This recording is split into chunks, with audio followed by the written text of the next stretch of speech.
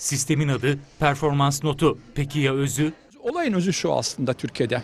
Ee, var olan yanlışları, e, kendi hatalarını, kendi yaptıkları bütün o yıkımları öğretmenlere e, yüklü- yüklemeye çalışıyorlar. 15 yıllık AKP iktidarı döneminde eğitim sistemi neredeyse baştan aşağı değişti. 4 artı 4 artı 4 sistemiyle başlayan değişiklik TEOG'un kaldırılmasıyla hatta Atatürk'süz müfredata kadar vardı.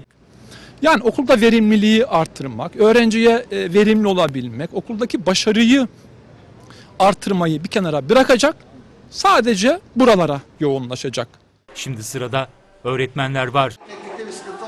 Performans notu sisteminde öğretmen hem öğrenci hem öğretmen hem okul müdürü hem veliler tarafından değerlendirilecek. 4 yılda bir yapılacak değerlendirme, terfi, hizmet puanı, görevde yükselme ve ödüllendirme gibi konularda belirleyici olacak. Yani öğretmenin diyor başarısız not alması durumunda bu değerlendirmeye alınmayacak.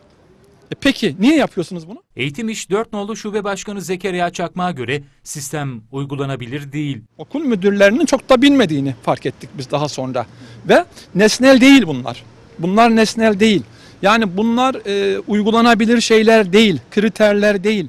Öğretmeni değerlendirmeye kalkmak ve çok objektif olmayan bir takım kriterlerle öğretmenin hakkında not vermek kesinlikle öğretmenlere yapılmış çok büyük haksızlıktır. Sürekli yapılan değişiklikler hem öğrencide hem veli ve öğretmenlerde gerginliğe neden oluyor. Yani öğretmenler odasında öğretmenler arasındaki huzuru ve iş barışını ortadan kaldıran bir pimi çekilmiş bombadır bu. Velinin vereceği not, öğrencinin o anda vereceği not ya da yandaş müdürlerin vereceği notla öğretmenin değerlendirilmesine karşıyız. Bunun için mücadeleye devam edeceğiz. Çünkü bu okullardaki barışı da ortadan kaldırır.